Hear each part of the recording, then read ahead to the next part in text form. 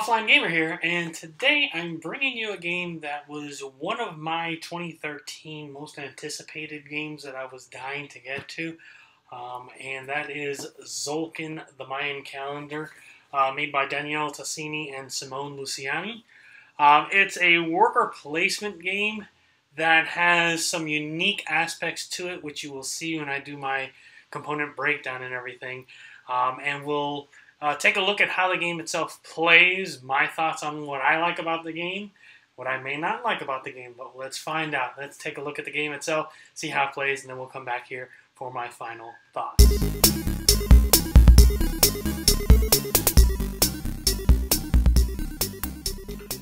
Alrighty guys, here you have a setup for Tzolk'in the Mayan calendar. Now, there's a lot to kind of go over here on the board. So I will go ahead and explain it in uh, sections so you understand. So when you look at here, you have the main uh, gear that represents the time of the actual game. So it starts on, there's little four sections here. There's little two blue and two brown. They represent different ages of the um, timetable as it goes along, um, as well as uh, when you would need to feed your people, as well as when you collect resources and points based on where you are on your tracks and things like that, which I'll explain as I go along. So as like a turn goes by, this gear will actually turn one, and you can see the arrow here represents where it marks it, and it actually has some numbers on the board itself that actually let you know how many turns there are until you get to the next age, which is kind of neat in uh, helping you out with your planning. So around the outside of the board itself, you have your scoring track, um, which you'll uh, use to keep track of your points. It goes up to about 100. I don't think I've ever played a game where we've probably scored more than 75 or so. Um, so it'd be interesting to see if they do come out with um, expansions and stuff to make it that you can actually go over the 100. Um, so depending on which colored wheel um, gear you put your workers on, and your workers, uh, I'll show you here, are represented by like little cylinders um, to represent your workers, which they fit right into the little um, divots that are in the gears themselves. So the way that this works is on your turn, um, you can either place or pick up a worker. So it's kind of interesting where you have to do one or the other. So you don't want to just spend an entire turn just dumping all your, your workers out because the next turn you're going to have to pick them up. And the longer that a worker sits on a gear, the better the results. So the green gear uh, is what's going to give you either wood or corn. Um, you have to understand in this game, corn not only represents your food, it also represents your currency. Um, so you will uh, need some corn throughout the game. Um, now, when placing out on the gears, um, well, let me explain the, the, the different gears. Uh, your brown gear here is going to give you resources, uh, strict resources. It'll have here like wood, stone with corn, gold with corn, the little crystal skulls, uh, which you will use for points. I'll explain that in the little gear, which I'll show you those guys. They look really, really cool. Um, that's probably like one of the coolest things of these of this game itself is the actual little crystal skulls um, molded really really nicely. Um, and then uh, your reddish um, gear is going to advance you on like your technology tracks uh, which I'll explain to you allow you to build buildings which I'll explain to you. Um, so it's kind of interesting it'll let you uh, trade in goods to move along the god tracks as well um, your yellow lets you uh, trade resources for corn. Uh, you can get uh, advancements on like the technology tracks. You can get an extra worker, um, things like that. And then your blue uh, gear is essentially going to be advancing on God track as well as getting victory points, um, just straight up victory points. Um, so in setting up the game, everybody gets uh, three um, three workers, and you get some corn to start out with. Now, um, when you're setting up, you actually get these little um, tiles, which actually have different like starting resources. You get three of them, um, and you get to choose which one you want to use um, to start off with. Um, you have on this section of the board right here are there's three different god tracks. So depending on how high you are on the God track itself, it will get you at certain scoring points, which are the brown uh, points, which are twice a game. You'll get victory points based on how high you are on the track, as well as any resources at the level and everything below um, your the, the, the track you're on. Now, the thing that's interesting with this game is you actually have this little like player board, which kind of explains a little bit uh, like what you have to do on you know on certain times of the track, like when you have to feed and things like that. But also, if you notice, it's dark on one side and it's lighter on the other side. The reason being is at one point per while you're going, and as long as you have it dark like that, you can sit there and um, actually advance the gear two ticks instead of one. Which is really interesting because it will play into the strategy of you're getting close to the end of the game. You want to force that end game situation to happen, so you tick the the the, uh, the gears forward an extra step to kind of give your opponent less time. Now, the interesting thing about these God tracks here is if you actually ret your marker all the way to the top of the God track, you can actually flip back over from the light side to the dark side again, which means you'll get a second opportunity to be able to advance the gear twice. Um, now, this uh, set of tracks here, this four tracks here, is your technology track. Um, it'll either help you out in getting more food resources, more resource resources, or um, the abilities to do specific things like free victory points and stuff like that. Now, there's four spots here. Um, you will basically advance up to like the third one. Once you get the chance where you advance to the fourth one, you'll actually just go forward and then come back again. So if you advance again, you just keep going back and forth there and keep getting that last benefit. And then the last section of the board here is actually there's uh, a certain buildings. There's what they call monuments, which when you set up the game, you're going to put six of them out. Um, and that's all that's going to actually come out. And the rest are going to go right back into the box. Um, these are going to be like buildings that are going to be more like end game scoring type of uh, buildings. You won't see too many people grabbing these early on. It's going to be more towards the later game. And then the regular buildings, you have two different types of buildings. There's uh, ones that have like a red spot, uh, a red backing with one dot and one that kind of has like a brownish backing with two spots. That depends on what age you're on. So uh, when you're in the first half of the game, well, it's on the first side here. You're in the first stage. Once you get to the point where this uh, does half a turn, you're actually going to take all these like level one buildings off, and you're going to just use level two buildings. So to start out, you'll flip over like six of them to represent different things. So you'll like you'll see that when you have the buildings out, it's going to be a lot less resources for those buildings. Um, like this one for four wood, you can actually feed one corn to all of your workers, which is great because when you look at it, it just so happens there's two of them out on the board. Um, and when you get to the feeding phase, you actually have to pay two corn per uh, worker that you have. If you actually get those two farms, you essentially now don't have to worry about using your corn as your currency. You just can use it, or uh, not as your uh, food um, you don't have to worry about using it as your food. You can just use it as currency. So it's an advantage of trying to get those um, those farms. So going around the, the board, um, in the green one, the different spots that they have will tell you how much um, corn you'll get. Now, uh, what's interesting is going from the, the third um, section to the fourth and the fifth section, you actually, it shows an amount of corn, but also a slash, and then wood. So what that means is on these sections here, um, in the setup, there's going to be like a little corn tile and there's going to be like a little wood tile on top of the corn tile. So what it basically means is um, in that area, when the wood is on top, that means that the area that you would normally grow the corn in is forested, so you have to clear out the forest first.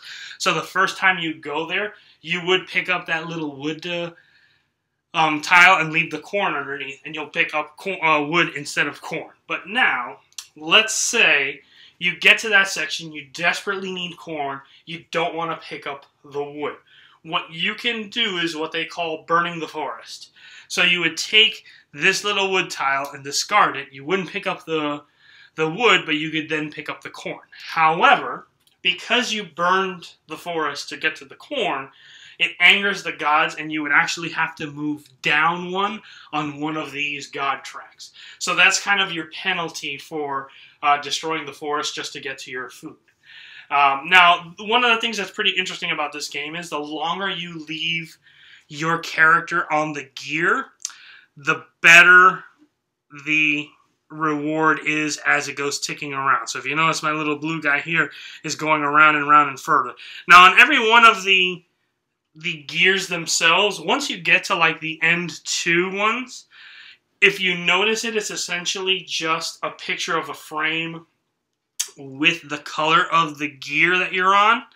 Um, what that essentially means is if you leave a player on there, like you don't pick them up, uh, once they get to that certain point and you pick that that character up, what ends up happening is you can perform any action on that actual wheel.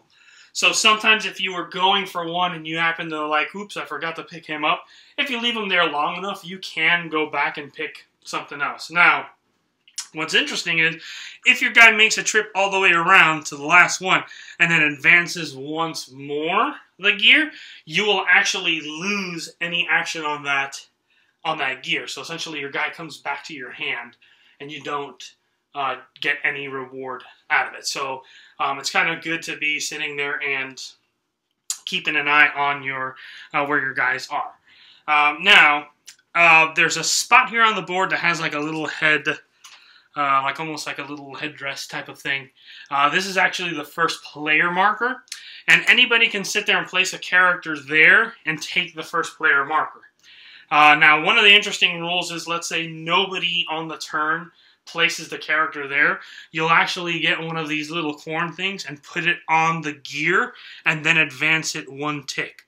Um, what will happen is eventually you'll start seeing there's going to be a bunch of like single corns on the gears the longer that nobody picks up that first player marker. And when finally a player does pick the first player marker, they get to collect all the corn that was sitting on the gears for themselves. So it's kind of like an incentive to keep the first player, um, the first player marker going around. Now, when it comes to actually placing your characters down, when you place your first worker down, it does not cost you any corn. The only time it would cost you is depending on which space you're putting them on. Um, you may have to pay to put that character out. So if you put them in the first spot where there's no uh, spots whatsoever, it'll cost you zero corn. To go to the first spot, it'll cost you one corn, two corn, three, four, all the way up. So you can put them as high as you want to be able to do that. Um, however, let's say in a situation like this, blue puts the player, uh, hit goes first and puts him on the zero corn, and that's the end of his turn, and green wants to place his uh, worker on the green gear, he will actually have to pay one corn to be able to place him down on that gear. Um, the other interesting thing is that when you go to actually place um, your workers down, you can place more than one. You just have to pay to place that worker down. So if you go and want to place a, a, second worker down, it will cost you one extra corn to place him down. If you place a, the, the third one, it'll cost you three extra corn to place him down. So it's kind of interesting where you can sit there and throw all your guys down, but you're going to spend a lot of corn to do it. Um, so that's another strategy that I've seen that some people will hold on to their corn and hoard it and all that. Um, while others will sit there and, and spend some time um, and gameplay will, will go like this, back and forth. Everybody will take turns either placing or, or picking up a, uh, a worker on their turn. Um, collect resources. Once you get enough resources, you can purchase buildings. Um, you can advance on the technology tracks and all that until you start getting some points. Uh, once, let's say, this guy spins around here to the brown part, you're actually, it'll tell you um, right here Uh, actually, it's on the light side. It's on the dark side. Uh, when you flip over that, you can't do uh, the two things. Sorry, had it backwards. Um, it actually shows you on the little player board here. So on the brown, you're gonna sit there and feed your people, and then you're going to take a look at the god tracks where you are. Um, and then on the blue one, once you get to the first blue one, it shows you here. You're gonna do the exact same thing. You're gonna feed your people again. You're gonna check the uh, god tracks again but this time you will get resources as well. Um, and then you get the uh, you switch over to the second age. Um, so it's pretty interesting on how they uh, how they do that. Um, really, really interesting game. It goes back and forth. It just spins around. Now, uh, one of the things that I will say about this game is there is a lot of stuff to do, um, and it's really well done component wise. Um, you just don't get caught. With too many ideas of what I want to do, what do I want to do.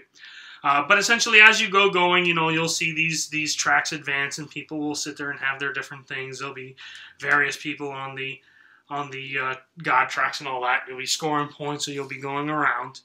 Um, and essentially, the person that can most efficiently get points as they're going through there will be your winner of the game.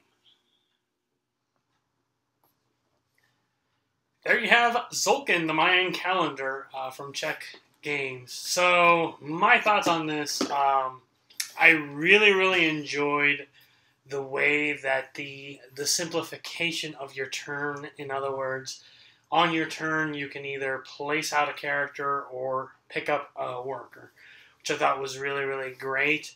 Um, I love how the way that they designed the game where you're currency is also your food, so you just don't go crazy uh, spending a bunch of like of your corn uh, to just put a bunch of guys out, take them all back in, um, which is really really um, good in the game. Um, although it does like add some depth of strategy to it, especially like when you're building the buildings, like I showed you.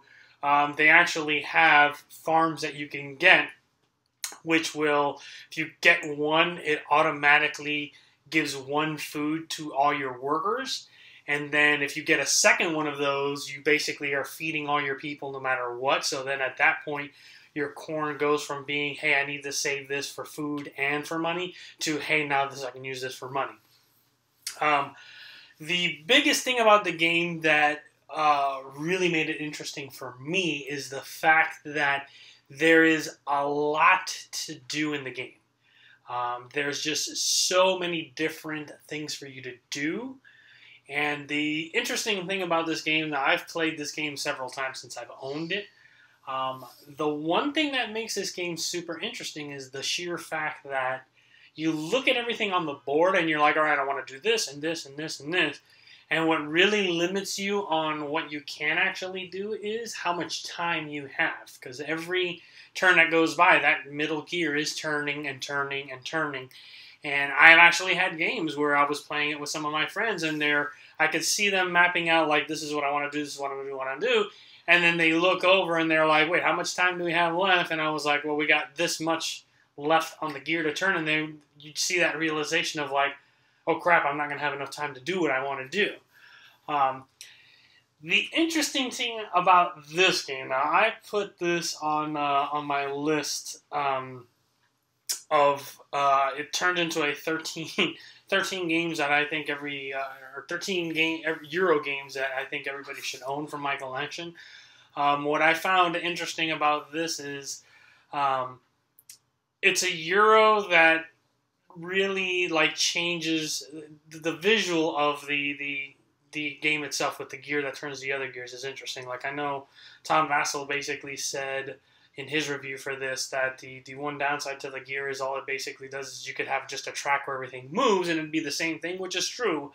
Um, the thing I like about that is the fact that that middle gear just turns everything for you, like an automatic system type of thing. Um, and it really, um, unlike a lot of other Euros where you can just say, okay, I'm going to go down this and this is where I'm going to focus on the board, and you'll win because you'll get a lot of points that way. I have yet to see any strategy like that in going to one specific spot only that actually like guarantees you a win on the game itself. Um, components wise, um, if there is one thing um, that I will say um, that's really neat about this game, um, and I'll open it up here and you know because you'll see it, the little crystal skulls uh, that they put in that are supposed to be crystal skulls, they're like made out of plastic, are just unbelievable. Um, it is the coolest thing ever um, to have that, and I like the breakdown of the actual game itself, where different sections of the of the gears do different things. Like one's for getting resources, one's for like making buildings, one's for advancing on some of the tracks, um, and then you have that one where like you can get more workers or do other things like that, and then you have that one gear that is just straight victory points, but you need those crystal souls, the skulls. So you have to send a worker to go pick up the crystal skull and then put a worker down to like sack, you know, give the crystal skull as as tribute and then get those points for it. So I found that really really interesting and the the the biggest thing I would say about this game that was interesting is the first time I played it, I sat down and I played it and I looked at it and I was like, well, I don't know if I like this or not. And once you got to the end of the game where you're like, oh, now I see how everything comes together, um, it immediately made me want to play it again. Um, and that second game that I played, I played much better because I had seen how things worked out. Um, so it's definitely one of those like you'll play it more than once, more than likely the first time you play the game because you'll be trying to figure stuff out, and then you'll see, oh, this is how all this stuff works together, and then boom, you you put it all together.